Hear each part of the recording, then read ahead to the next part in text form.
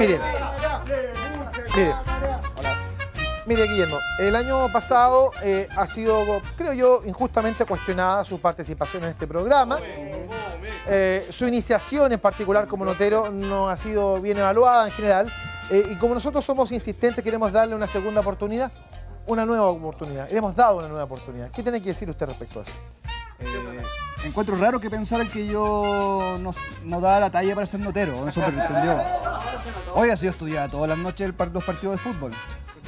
Claro, ahora los de barra base, pero bueno, sí. Pero, ¿Usted se siente cómodo haciendo nota? Porque a lo mejor lo estamos eh, incluyendo en algo en el cual no está... eh, No, yo creo que tengo harta, harto pa- para ser notero. Claro, solamente que me pongo nervioso frente a la gente y se me olvidan las cosas. Se pone nervioso el día. Mire, Sí. bueno, nosotros quisimos darle una nueva oportunidad a Durmiente. Ya. Y usted salió a la calle, ¿no? Sí, fui a la Plaza de Armas ¿Y a qué fue? a preguntarle a la gente cosas de fútbol. A preguntarle a la Sí. gente cosas de fútbol. Supongo. Bueno, vamos a verlo, ahí está. Gracias. Ya, muchos chay- Ya, mucho, mucho, mucho. Muchos han dicho que yo no sé nada de fútbol y que mi nota no ha sido tan buena. Bueno, me dijo mi mamá, mi hermana, mi amigo, mi jefe, la gente en la calle, me paran en las micro. Lo que vamos a hacer es lo siguiente, yo voy a preguntarle a cualquier persona en la calle un concepto futbolístico y no tiene que responder. No, ahí hacemos un corte y ahí pasamos a lo siguiente. Y yo después le voy a tener que responder un concepto futbolístico que él me pregunte. ¿Entendieron? Así que vamos. ¿Qué es la pasión de multitudes? El fútbol. Referee. ¿Árbitro? ¿Qué significa el playoff? Cuando se apaga el partido. ¿Qué es una mague? Una finta. ¿Qué es una finta? Eh, una desmarcación. ¿Y qué significa estar desmarcado? Eh, quedar libre. ¿Qué es un referee en el fútbol? Un árbitro vale porque la cancha le pagan para que arbitre y normalmente que sea una cosa maravillosa. ¿Qué es estar offside? Bueno, estar offside es estar eh, cuando solamente está el, ar- el arquero, sí, el arquero y un jugador del otro equipo que recibe un pase de su mismo de su mismo equipo. Lo que yo soy artista circense, yo trabajo en todos los circos chilenos con los tachuelas, circo La Águila Humana. Quiero demostrar a la gente que en verdad yo sé de fútbol. El programa Show de Goles aparezco como conotero, pero nadie me pesca ¿Cuáles son los equipos que descendieron a la vez? Eh, Udeconce, Serena, no me acuerdo el otro.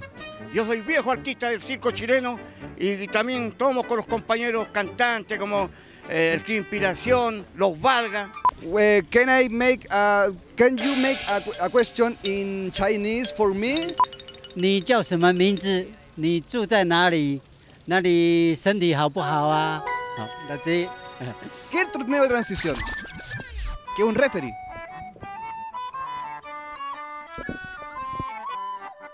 ¿Qué es el ratón? Eh, siempre jugar atrás, ser ratón, no, no salir a la ofensiva, al ataque, ese es ser ratón. ¿Qué significa estar offside? ¿Por qué todos preguntan lo mismo? Yo ya lo respondí. Cuando solamente está el, ar- el arquero, sí, el arquero y un jugador.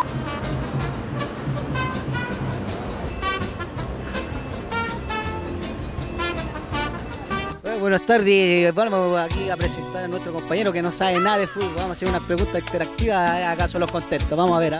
¿Sabe, ¿Sabe algo de fútbol? ¿Qué es una mague? Una mague. Eh, ¿Qué es una, una bicicleta? una bicicleta, un medio vehículo que tiene dos ruedas y una cadena y un- usualmente la gente para ir a un lugar a otro. ¿Qué es hacer la diagonal? La diagonal. Con, con la mina y la cuestión acá. Bueno, para variar, nuestro notero durmiente no sabe nada de fútbol. Bueno, adelante estudio.